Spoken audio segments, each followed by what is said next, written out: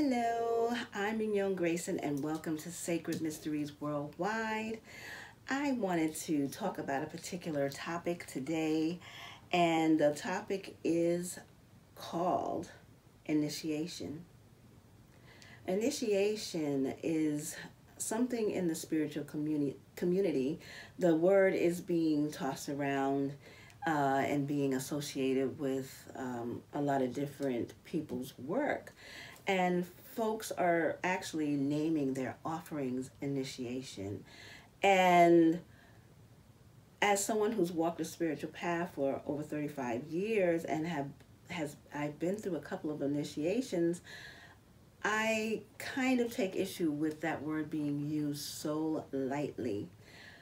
An initiation is based on hundreds and thousands of years worth of spiritual culture and tradition. It's a process by which a person goes through a series of tests, trials, and other different scenarios that actually rebirth them into a new awareness of themselves and their life in general. They emerge out of an initiation in a new frame of mind, in a new energy field, and it is a rebirthing. Now, this is not like born again. That's something totally different. This is act an actual rebirthing of yourself into the next level of who you are as a spiritual person walking on this earth. And it brings you into um, a deeper and more um, stronger connection to that purpose. Initiations cannot be done through a book.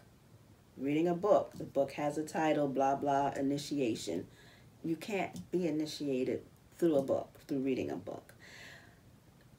You cannot be initiated online. You cannot be initiated um, remotely in any way, shape, or form, by mail. Uh, all of that is just made up by other people who want to make money or who don't know any better. An initiation needs to be done in person. And it needs to happen with those elders of the tradition through which the initiation is taking place.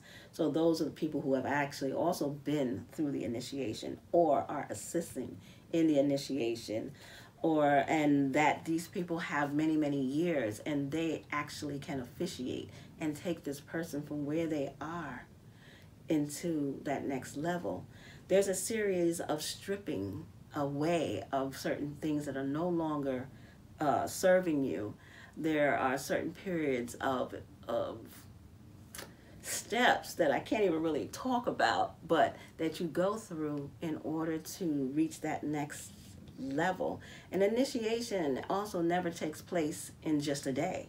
An initiation takes place over several days. It could be a couple of weeks.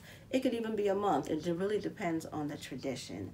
But an initiation is a and is, and when I say it takes place, it actually the the person who's being initiated uh, shows up and then it happens. But prior to that, there's a lot of preparation that goes into an initiation. It has um, those who are the elders, the priests, the people who are presiding over and assisting in the initiation. There's a lot of different, uh, they are preparing, they're preparing things for the initiation.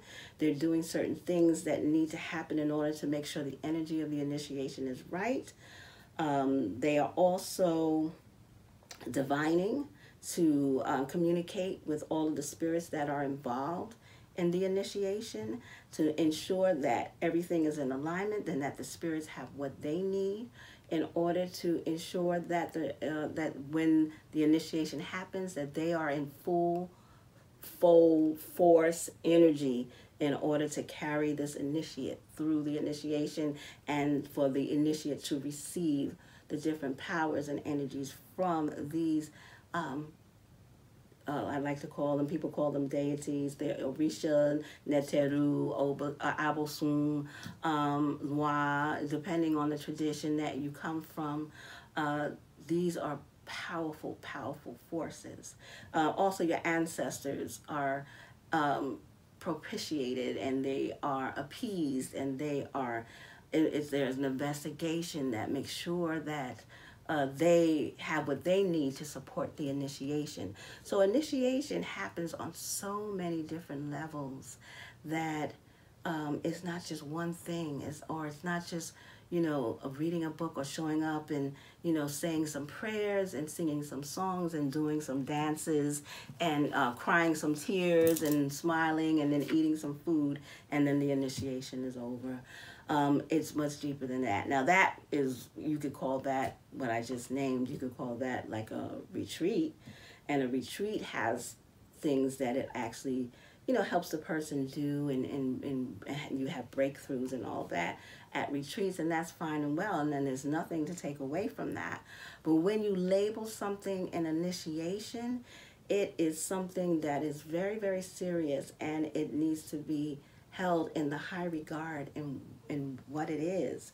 Uh, people are just really taking a lot of things from ancient traditions and stripping away and, and you know and, and, and giving the um, how don't, what do I want to say? There's a word I want to say. Um, the buzzwords, you know.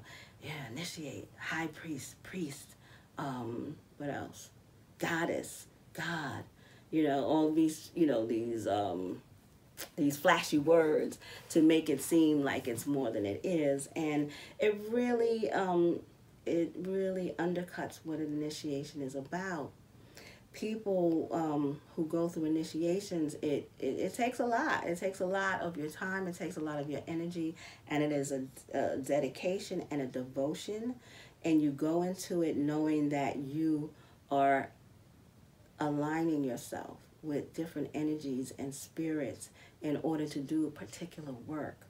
So be aware, if you've never been through an initiation, be aware that it can't be done online. It can't be done through a book. It can't be done remotely. It can't be done in the mail. Um, and it definitely can't be done in one day. so those are all the alerts. So if somebody says, "Oh, I have an initiation program," and you can, you know, you know, come get my materials and read it, and you know, do these things in your house, and then you're initiated.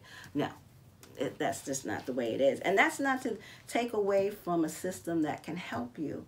But what I have a problem with is when people take the buzzwords and add them onto their system and to make them seem like more than what they are. And um, people feel like they're getting something that they're not.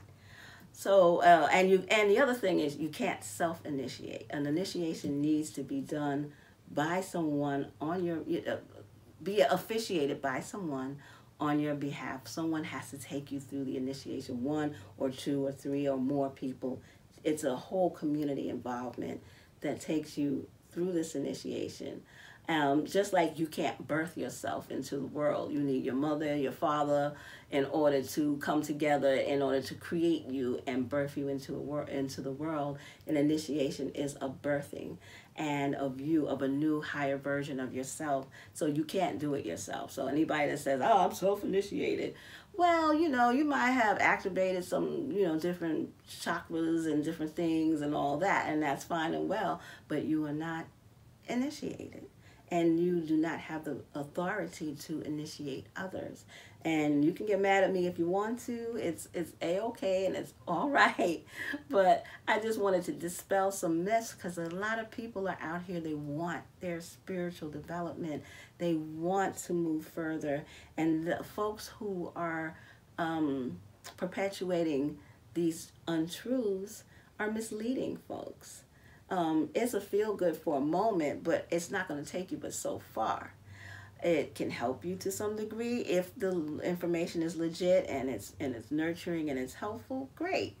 But if you really want to be initiated then that takes a whole other type of dedication and and it's not just one or two people. It is a community that is also involved in the knowledge and the wisdom of the system that comes from the ancient tradition that has developed this initiation system um, and codes and uh, knowledge to um, they uphold this they hold on and they pass it down and you being initiated You then are the holder of this wisdom and knowledge as you continue to learn, and you will eventually pass it on.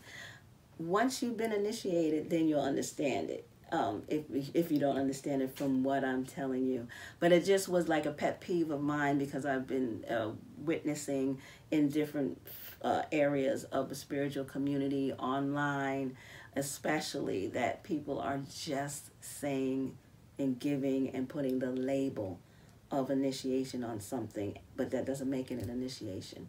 So do your due diligence, know what you're getting into, understand that the initiation comes from a tradition that has been developed over time.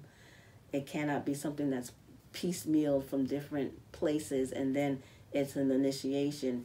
No, that's just a system of retreat or a system of, you know, going through different things to help you develop. But initiation is a whole lot more deeper, and so many different things happen. Um, and it aligns you with so many different spirits and um, that go back thousands and thousands and thousands of years. So uh, I trust and believe that it's worth it if there's something that you really want to do. You want to be initiated as a priest or a priestess uh, in a particular ancient system, then you you know there are steps that you go through through doing that, and it's a world of wonder. It's glorious. It's beautiful. Um, I've been initiated into one particular system myself, and I've had um, certain what they call smaller initiations that I've been involved in um, in the Orisha tradition as well. So it's um, it's a beautiful thing, and so let's not minimize it and strip it away to and and um, commercialize it to a point where it is misleading to those who are really seeking a particular path. So I just wanted to say that. Um, I'm going to get off my soapbox about it right now. But if you have any questions, please put them in the comments. If you um, want to know more uh, information, you can reach out to me via my social media. But um, until then, you know, blessings on your journey and um, be well. If you liked um, my message today, might have pissed some people off, but if you like my message today, just please like and share. Um, give me a comment, subscribe. All right. Until then, peace.